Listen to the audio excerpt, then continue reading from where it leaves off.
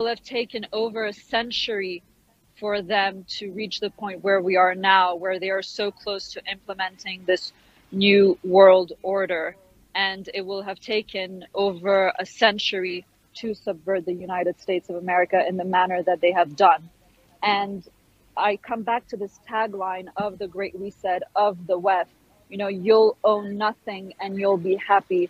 And I just want to say this is the absolute, first of all, as if, and this is the absolute antithesis of what the founding fathers um, sought out to achieve for future generations. It's completely diametrically opposed to what it means to be an American, to be the master of your own destiny you couldn't be further. The US Constitution and the agenda of the globalists implemented through these uh, vehicles like the WEF, like the UN, these international organizations, what they want, we know, we see it. We have the prime example, which is what is happening in the CCP's China, this mass surveillance state, these arbitrary lockdowns that are going on right now, which are so atrocious they are using the pretext of, quote, this pandemic to install this bio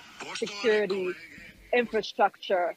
And uh, we will, the few freedoms that we are left are in the process of being completely taken away from us with this so called treaty, convention, agreement, international instrument, as they're calling it for now. We we will see uh, uh, once the draft is, is finalized. But it means that we are we won't have freedom of movement anymore. You know, we also have in conjunction with what they're doing with um, CBDC, you know, the central bank digital currencies, everything will be digitized and every single thing will be tracked.